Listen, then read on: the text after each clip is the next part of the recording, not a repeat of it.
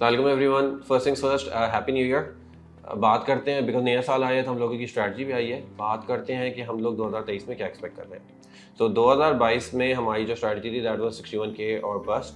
उसमें यही था कि दो चीज़ें होने की ज़रूरत है आईएमएफ में पाकिस्तान को एंटर होने डेफिनेटली एंटर होने की ज़रूरत है और सेकेंडली कमोडिटीज़ ने अपने गेंस को पेयर करना था अनफॉर्चुनेटली दोनों चीज़ें नहीं हुई इसी वजह से हमने देखा कि मार्केट तो बस्ट हुई थी 2022 में। 2022 हमने और भी देखा कि पाकिस्तान एक परफेक्ट स्ट्रॉम के अंदर फंसा हुआ था, जिसके अंदर मेटाफोरिकली एंड लिटरली जिसके अंदर हमने देखा है कि दुनिया भर में एक तो इन्फ्लेशन का इन्फ्लेशन स्पायरलिंग इन्फ्लेशन थी आउट ऑफ़ कंट्रोल हुई हुई जो कि पाकिस्तान में भी हुई है। उसके अलावा कमोडिटी का क्राइसिस चल रहा था, हमारे रिजर्व्स नीचे गए हैं, और साथ ही साथ ये सब चीज़ें अगर काफ़ी नहीं थी तो एक सही का बहुत one of the biggest in history flood भी आया था, जिसने एक डिस्ट्रक्शन हैवे कर दी थी। पॉलिटिकल अनसर्टनिटी की मैं आखिर में बात करूँगा because well this is Pakistan political uncertainty almost हर थोड़े अरसे बाद चली रही होती है पाकिस्तान में। अब बात करते हैं कि 2023 में हम लोग क्या एक्सपेक्ट कर रहे हैं। सो so, 2023 के लिए हमारा इंडेक्स टारगेट कुछ भी नहीं है। हम लोग एक्चुअली कोई इंडेक्स टारगेट नहीं दे रहे इस बार because let's face it government को नहीं पता कि वो क्या करना चाहती है। तो हम लोगों के लिए हम लोग गवर्नमेंट की पॉलिसीज़ को देख के प्रिडिक्ट कर रहे होते हैं कि क्या आउटलुक होगा। It's very difficult to predict what is going to happen because the government does not know what was going to happen या गवर्नमेंट की तरफ़ से डायरेक्शन एटलीस्ट सही तरीके से नहीं आ रहा है। What we can say there three events that you need to watch out for जो कि मार्केट को शेप करेंगे। तो first things first obviously last year के कॉन्टेक्स्ट में भी इस साल के कॉन्टेक्स्ट में भी इज़ आई एम एफ़ हम लोग आई एम एफ़ में कितना जल्दी जाते हैं और आई एम एफ़ की रिक्वायरमेंट्स क्या होती हैं, वो रिक्वायरमेंट्स मीट कर भी पाते हैं या नहीं कर पाते सेकेंड चीज़, जब हम लोग आई एम एफ़ प्रोग्राम में चले जाएँगे तो हम लोग के पास मल्टीलैटरल एजेंसी से और बायोलैटरल कंट्रीज़ से सपोर्ट आती है तो उसका अमाउंट किस तरीके से फ्लो होता है? थर्ड चीज़ इज़ के obviously two thousand twenty three is an election here तो वेदर इलेक्शन मार्च में होते हैं या ऑन टाइम अक्टूबर में होते हैं uh, वो चीज़ देखने की ज़रूरत है। Uh, वो चीज़ डिक्टेट करेगी कि मार्केट का डायरेक्शन क्या होता है।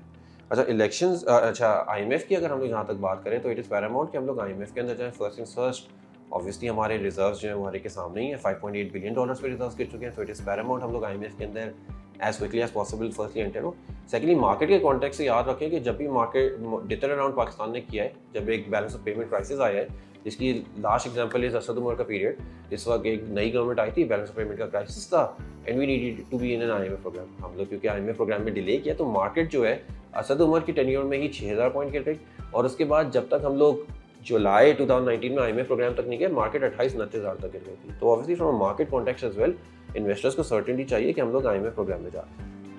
अच्छा पॉलिटिक्स साइड अगर हम लोग अब बात करें तो ऑब्वियसली जो चीज़ देखने की है that is the economic side Pakistan की इकोनॉमी की क्या हालत कंडीशन है। अच्छा नई गवर्नमेंट ने आने के बाद थ्रू एडमिनिस्ट्रेटिव स्टेप्स ही, लेकिन नई गवर्नमेंट ने at least current account deficit side को कंट्रोल किया है, जहाँ पे हम लोग को नज़र आ रहा है कि आपका तकरीबन जो पाँच महीने में अभी करंट अकाउंट डेफिसिट है, वो 3.1 बिलियन डॉलर्स पे है, जो कि लास्ट ईयर अगर इसी पाँच महीने में देखें तो तकरीबन सात, साढ़े सात बिलियन था तो करंट अकाउंट साइड उन्होंने कंट्रोल किया है। बट बिकॉज़ ये एडमिनिस्ट्रेटिव मेजर्स की वजह से कंटेन किया है, इसलिए हम लोग एक्सपेक्ट कर रहे हैं कि अभी भी फुल ईयर का जो करंट अकाउंट डेफिसिट है, वो नौ, साढ़े नौ अरब पे सेटल होगा। साथ ही साथ करेंसी की अगर हम लोग बात करें which is the big one हम लोग अगेन आप ओपन मार्केट में जो अनऑफिशियल रेट है और जो ऑफिशियल रेट है, उसका डिफरेंशियल देख लें तो आपको अंदाज़ा हो जाएगा कि हमारी करेंसी को किस डायरेक्शन में और कितने पे जाना चाहिए। हमारी फुल ईयर रिजम्पन की हम लोग बात करें तो हम लोग यही एक्सपेक्ट कर रहे हैं कि करेंसी जो है वो सेटल करेगी the end of 2023 at 260 rupees with average for the year 245 होगा। इन्फ्लेशन अभी भी तकरीबन 25 परसेंट के करीब चल रही है और हम लोग एवरेज फॉर द ईयर भी जो एक्सपेक्ट कर रहे हैं वो तकरीबन 25 परसेंट के करीब ही एक्सपेक्ट कर रहे हैं। 24.8 की हमारी एवरेज एजम्पशन बन रही है फॉर सी पी आई जबकि second half of C Y twenty three में हाई बेस इफ़ेक्ट की वजह से इन्फ्लेशन में एक uh, हम लोग को डाउनवर्ड मूवमेंट नज़र आएगी which will be again because of high base effect अच्छा इन्फ्लेशन के साथ ही बात करें अगर इंटरेस्ट रेट्स में तो जैसे हमने कहा कि हमें इन्फ्लेशन अभी भी ऊपर ही नज़र आ रही है तो इसी स्टिकी नज़र आएगी। इस वजह से एंड सेकेंड ये आईएमएफ की तरफ़ से भी ऑब्वियसली एक्सपेक्टेड uh, है कि प्रेशर होगा।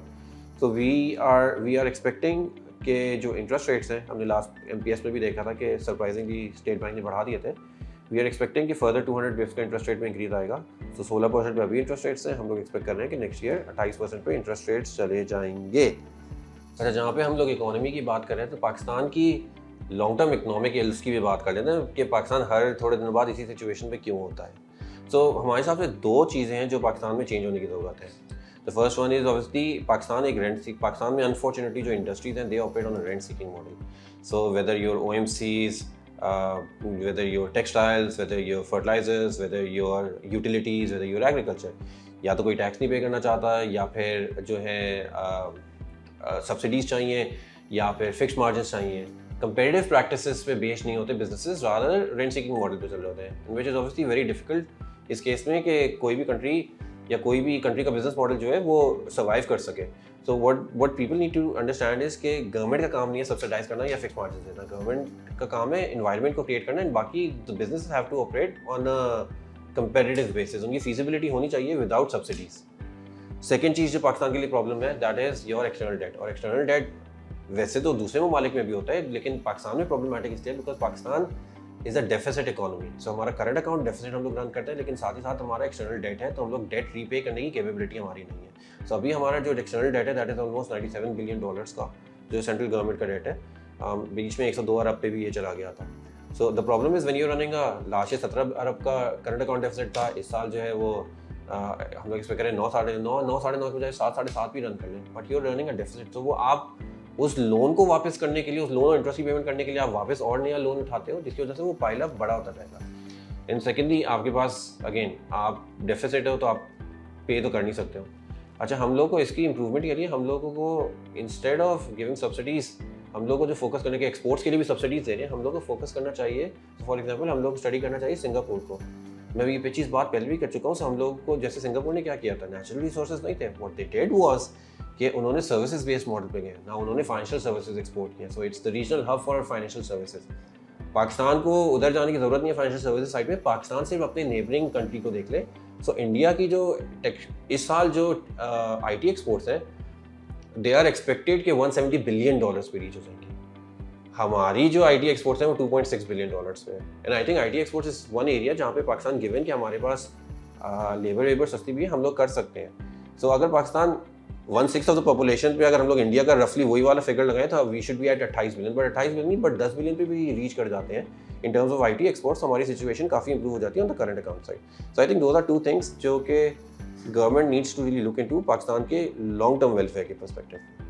अच्छा अब हम लोग बात कर लेते हैं ऑब्वियसली कि मार्केट स्ट्रैटेजी हमारी क्या है टॉपिक्स हमारी क्या हो रही है। It's a difficult one but जैसे आपको हमारी थीम में भी आपको अंदाज़ा हुआ होगा कि हमारी जो थीम है वो बेसिकली है play the currency so currency में हम लोगों को अगर डिवेल्यूशन नज़र आ रही है हम लोग को दो सौ साठ में नज़र आ रहे हैं तो और और बिज़नेस मॉडल ऑब्वियसली बिज़नेस आजकल बिल्कुल स्लो डाउन है एल ओपन नहीं हो रही है डिमांड है नहीं डिमांड सप्रेशन चल रही है। सो so, जिनके रेवेन्यू डॉलर बेस्ड हैं विच मीन जो एक्सपोर्टिंग है उन पर फोकस करना चाहिए। सबसे सारे फेरिस इसमें ऑब्वियसली आती हैं tech companies so tech companies में हमारी जो टॉपिक है those are going to be systems and वेंसक्योन उसके अलावा थोड़ा सा लैग्ड इम्पैक्ट आता है fifty percent of the revenues पे बिकॉज़ गैस की जो प्राइसिंग है वो थोड़ा लैग के साथ होती है बट ई एन पीज हम लोग ऑब्वियसली डॉलर बेस्ड रेवेन्यूज़ पे हैं तो हम लोग को ई एन पीज बहुत अच्छे लगते हैं जहाँ पे हमें uh, मारी काफ़ी अच्छा लगता है पाको यील्ड की वजह से हम लोग को अच्छा लगता है जब O G D C P P L आजकल सर्कुलर डेट रेजोल्यूशन की बात हो रही है तो उनकी वो टी एफ़ सी और टी बिल की ट्रांजेक्शन फिर से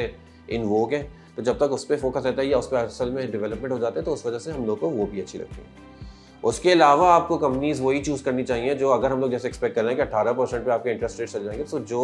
18 परसेंट से ऊपर से टी बिल भी एक्सपेक्टेड वन ईयर की 18 परसेंट भी चली जाएगी। तो जो 18 परसेंट से ज़्यादा डिविडेंड यील्ड दे रही है, वो कंपनीज़ फोकस करनी चाहिए, वरना फिर आप टी बिल में इन्वेस्ट करते हो बिकॉज़ ऑब्वियसली उसमें एक रिस्क भी कम है। तो उसमें जो हमें अच्छी लगती है, हम लोगों को बैंकिंग सेक्टर के अंदर एम भी अच्छा लगता है, तेईस परसेंट की उसकी डिविडेंड यील्ड हम लोगों को नज़र आ रही है तो हम लोगों को वो अच्छा लगता है। फर्ट्स के अंदर हम लोगों को एफएफसी अच्छा लगता है। एफ़ और ई भी एक्चुअली अच्छा लगता है। एफ़ की तकरीबन साढ़े अठारह परसेंट की ईल्ड है ई की इस वक्त अठारह परसेंट की ईल्ड है तो वो अच्छे लगते हैं। हम लोगों इसके अलावा जो है ये तो हमारी डिफरेंट डील पेज है। Um, इसके अलावा हम लोगों की सिर्फ़ एक या एक तरीके से दो पिक्स कह लें जो कि हमारी थीम पे नहीं बैठते हैं लेकिन वो हम लोगों ने ग्रोथ पे पिच किए हुए which is basically Islamic banking जिसमें मीज़ान बैंक और फैसल बैंक हम लोग को अच्छे लगते हैं। बिकॉज़ ऑब्वियसली हम लोग ने देखा उनकी डिपॉजिट ग्रोथ उनकी बहुत तेज़ी से ग्रो हो रही है अभी भी ग्रो हो रही है और निम्स में उनकी एक्सपेंशन नज़र आ रही है। तो एक तरीके से आपके लिए शरीयत में बरकत है। So that those are our topics for the year. But obviously it will be a challenging year and let's hope for the best. दुआ करते हैं कि गवर्नमेंट जो है वो थोड़े कंक्रीट स्टेप्स ले और इक्विटीज़ के लिए भी पॉजिटिव हो thank you for watching and if you got any questions please do get back to us